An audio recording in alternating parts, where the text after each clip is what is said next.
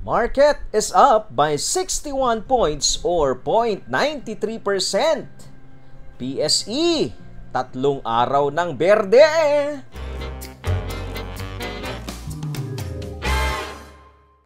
Hello mga titos and titas, welcome to Tito Vlogs.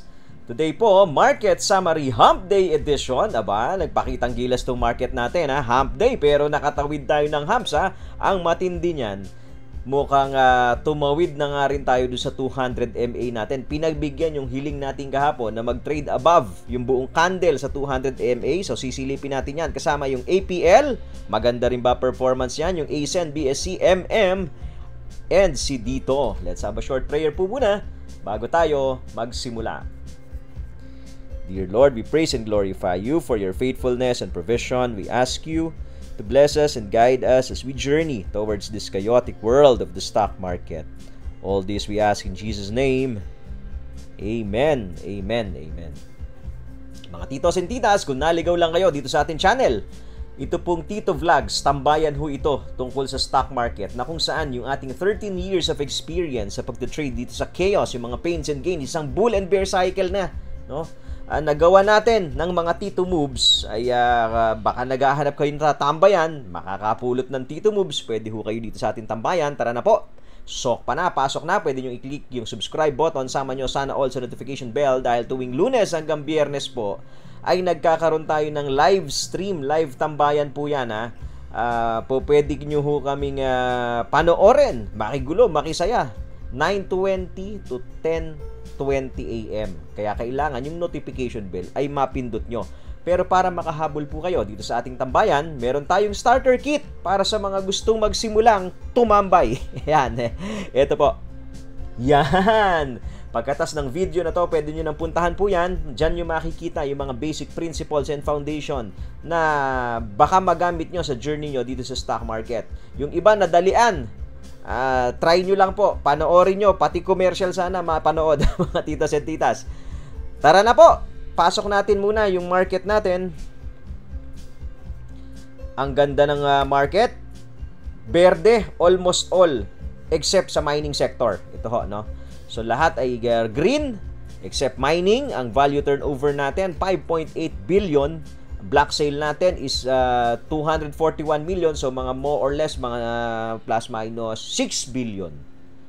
Nag-improve na kahit pa paano no? Yung lagay na yan nag-improve na ho yan. 6 billion value turnover. Kasi nakaraan nag 4 billion tayo eh nung nagkakalaglagan. So bumabalik na ba? But this is still lesser no? Yung normal volume natin na 8 billion. So kung naghahanap pa tayo ng 2 billion, sino ba nagtago niya? Ilabas nyo na ang uh, most traded Ah, hindi yan, hindi yan, hindi yan, hindi yan. Uh, ito pala, ito pala. UPM ang uh, teka, most active pala. Top gainer yan. Ali, BDO, BSC. Aba, nagpapakitang gila si BSC. 104 pa lang nag-close today, ha. Uh, up ng 7%. MPI dito. SM ASEN up ng 2%. P Gold, SMPH, and TEL. Uh, sa lahat ng to, kung mapapansin nyo, yung BSE, BSC No, yan yung uh, uh, third liner, small cap, no? Pero humahabol, pumapasok dito sa top traded natin, ha? Kaya mamaya sisilipin natin yung chart niyan matapos ang ating mga tabloids. Unahin muna natin, galing sa Philippine Star. Filipino billionaires got richer despite coronavirus lingering fallout. Sana all. Yun lang eh. Sana all. Akalain mo nga naman ano, Manila, Philippines, over a dozen uh, Filipino billionaires saw their fortunes grow this year, joining the rest of the world's richest in accumulating more wealth at a time the coronavirus pandemic is uh, pummeling the global economy. For the third year, former Senator uh, Tito Manny Villar, Ninong! Ninong Manny, ayan ha, who has built a retail and property empire top Forbes list of richest Filipino after his net worth grew to 7.2 billion. Ninong, Bigyan naman. Yun nga. Eh, ano ba masasabi natin? Sana all. sana all, no? Ay, sana mag-reflect dun sa stock market, no? Yung kanyang, uh, ay, yun naman eh. Sa equity naman ho yan, no? Mga titos and titas. Ano ba? Hindi natin nasisilip yung mga Villar stocks, eh, no? Pero most of their uh, fortunes ho, galing yan pag pinag-combine-combine mo yung uh, value ng kanilang companies dito sa PSE, ibig sabihin, hindi pa masyado nabugbog yung kanilang uh, listed companies. Yun lang, yun lang naman ang conclusion dyan, although hindi na nga natin nasisilip. Next balita po, galing sa Philippine Star ulit, banks to monitor unusual fund movements. Manila, Philippines, the BSP has ordered banks to closely monitor the unusual movement of funds through digital channels as part of enhanced efforts to combat money laundering and financing of uh, terrorism. Sabi ni uh, Deputy Governor sa, ng BSP si Tito Mamerto Tangonan, bank should proactively monitor the transaction of operators of payment systems and non-bank electronic money issuer uh, based on parameters or alerts scenarios that capture their, their financial profile and behavioral account activities. Good. No? Bakit? Kasi syempre kailangan din namang i-regulate, no? Pero ang mas maganda rito, suportado ng BSP. 'Di ba? Yung uh, pag-transition sa digital. So okay tayo diyan.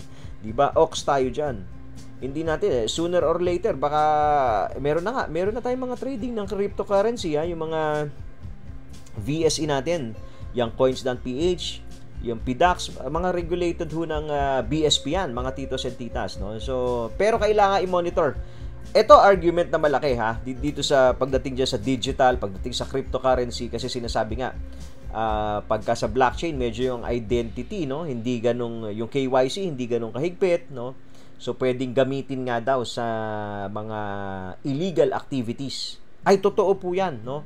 Pero ang argument naman nitong mga uh, taga cryptocurrency, sinasabi naman nila, eh bakit eh yung fiat money din naman nagagamit sa illegal activities eh.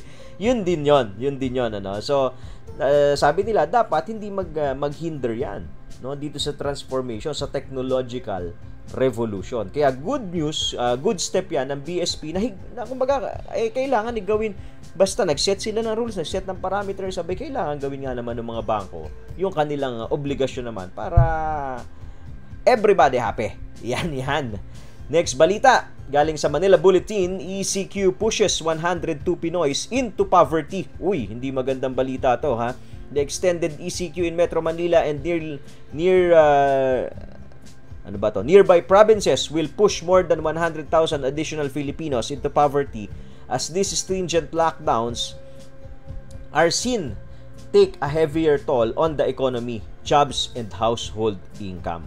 O, sabi ni Tito Sunny Dominguez, uh, pinagtulungan na nila ni Tito Carl Ken- Kendrick Chua ng NEDA, uh, the two-week ECQ in uh, NZR bubble may drag down the economy by 0.5% uh, percentage point or 0.8 percentage point this year. Oh, malaki din 'yan ha.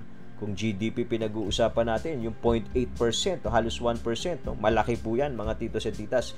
Yung dalawang yung dalawang linggong lockdown lang, no.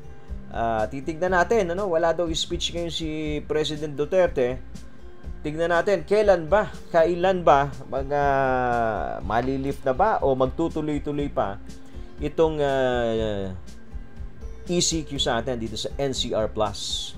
Yan po ang ating mga tabalits. Ipasok na muna natin yung chart natin. Siyempre, unahin natin itong PSE. Ayun ang sinasabi natin. Yan ang uh, yan ang bigay. yan, yun na lang na nasabi. Yan ang bigay. Bakit kanyo? Sabi natin kahapon, magbe-break ba ang PSE? Ah, sumagot. O, nag-break na nga. Nag-break na doon sa downtrend channel niya. Nag-break sa 200 MA, nag-break sa EMA. Okay? Are we out of the woods? Hindi pa ho, 'di ba mga titos and titas? Tapos uh, kasi pwedeng noise ha. Pwedeng noise. Yun. Yan yung sinasabi natin ha. Pero ang good news naman, syempre, 3 days na tayo na red, uh, na green candle. Pwede nating gayahin to anytime, tingin ko ha. O oh, yan, do, do, do, do, do, do, pwede yan. Or ito na ba tayo? Nandito ba tayo? Ito ba yan? So, nandito na tayo sa pangalawa. Probably baka nandito na tayo sa pangalawa. No? So, uh, next resistance to break ng PSE, ito pong blue line, yung MA100 natin, nasa 6,775 area tomorrow, last trading day na natin. So, long weekend. Another crucial uh, moment sa PSE. Bakit kanyo? Kasi po, long weekend. Alam nyo naman, dito sa atin, may kasabihan yung mga trader, takot sa long weekend. Pag long weekend, gusto mag-pull out. Lahat TP. Nagte-take profit. Considering na tatlong araw na tayong umakyat, posible ba tayong mag-profit taking bukas? Teka, silipin natin sa chart ha. Posible ho, pero ano magiging effect? Okay, mas maganda sana hindi kahit unchanged lang. Sa weekly natin, ang uh, yung maganda na maganda tong ginagawa sa weekly kasi parang naka-minor tayo. MACD ho. Ayan oh. Gustong i-touch yung zero pero parang naka-minor na. So kung this week, yan na, masurvive na natin na hindi na natin tagusin, mag-close below. So most likely, hindi naman siguro tayo magko-close below dito sa blue line, which is nasa 6429. Kasi last week na tomorrow, last day na tomorrow eh.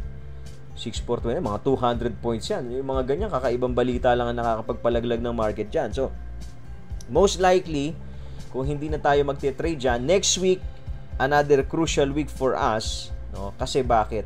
Ang gusto na natin, ma-break na natin to. Yung 6.7 hanggang 6.9. Buong April, sige na, tawirin na natin. Buong April, dahan-dahanin natin kung kaya nating i-break yan hanggang 6.9 sa weekly chart. No? Para yung MACD natin, hindi tumagos talaga sa zero. Once na hindi na po tayo tumagos sa zero at mag-minor na tayo, kahit mag-consolidate na tayo dyan, no, medyo kampante tayo dahil yung uh, ang gagawing direksyon ng index natin magiging sideways lang no? Mukhang uh, hindi na babagsak pagka ganyan ho ang ginawa no?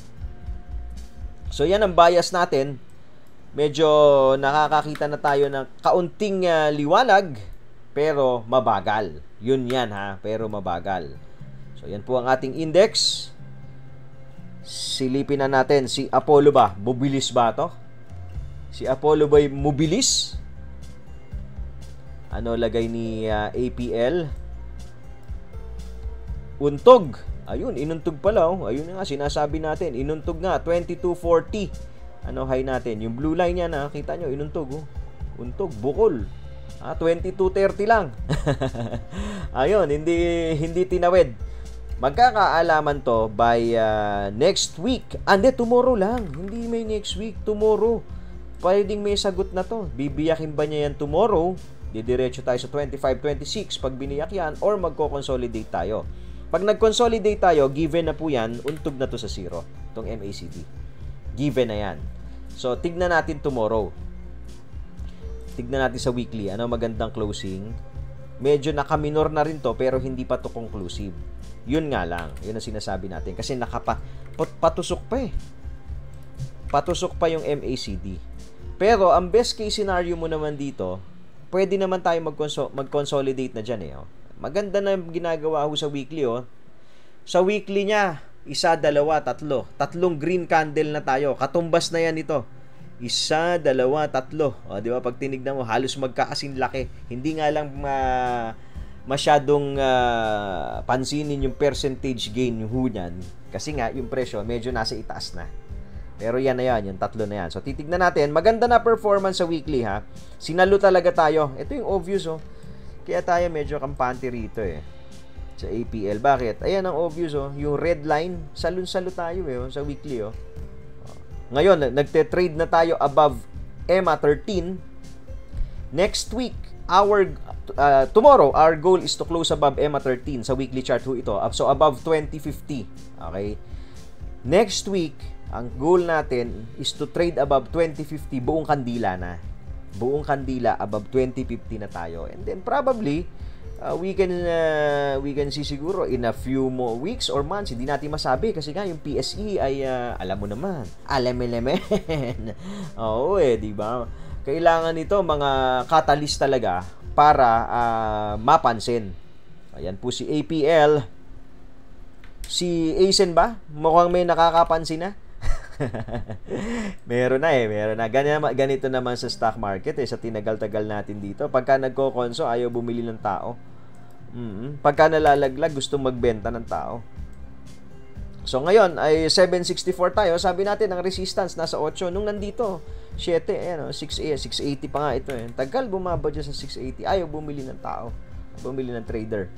Uh, eh normal ho yan. Normal naman yan. Kasi nga syempre, kung hindi nyo kabisado galawan ng market, nakatutok lang every day, every eh, every hour, tinitignan mo lang to. Tapos, ang uh, vision mo, short term lang. Ang vision mo hanggang pang next month lang. Pinakamatagal na yon Talagang ganun eh. Ang, ang tingin mo karamihan ng trader hanggang pang next month, long term na. No? Pagka tatlong araw na hindi gumagalaw na yung, uh, yung stock, tito, kailan aakyat? uh, pagka bumagsak naman, kakabili pa lang niya, after 3 days, bumagsak na. Tito, ba't bumagsak? ay nako, ay nako, ay nako. Pero normal ho yan, naiintindihan natin dahil galing din tayo sa ganyan. Ano? Kaya ho nandito si Tito para alalayan kayong lahat, ipaliwanag sa inyo kung ano yung dynamics ng market. Kasi pag naintindihan nyo na ho itong laro na to, easy na yung mga susunod. Even sa crypto, ina-apply natin yung mind setting eh. Diba? So kaya yung crypto, even uh, parang bagong lingwahe sa atin yan, oh, inaaral natin, hindi na masyado tayo nahirapan. Kasi nga, yung mindset tama na eh. No? So yon maintindihan nyo po itong market. Palagay ko yung crypto, madadalian din kayo. So, ASEN, 7 to 8. 8 pesos ang resistance natin. Pag nalagpasan yung 8, madali na tayo sa 9 tapos ATH.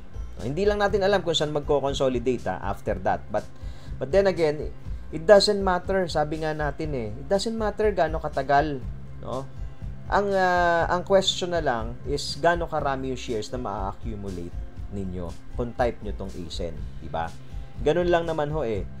Kasi minsan, yung nilalagay nyo naman dito, yung iba ha, I'm not saying lahat, pero yung iba, pera din naman na natutulog sa bangko or hindi pa naman kailangan. Diba? So, it doesn't matter. Ang importante, gaano karami yung accumulate mo habang natutulog to para pag umakyat, eh happy-happy ka. Gets ba? Eh sana na i-auto like. Sana na i-like yung video. Kung moves yan ha. Pero papaalala natin bago natin tuloy itong program natin.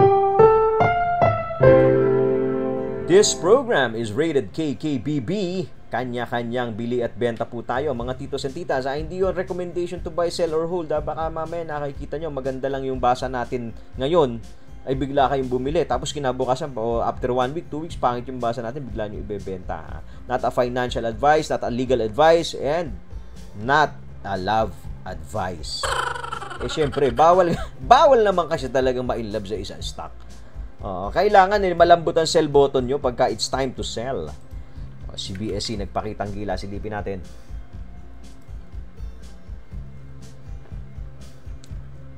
BSC, uy, ano high nito?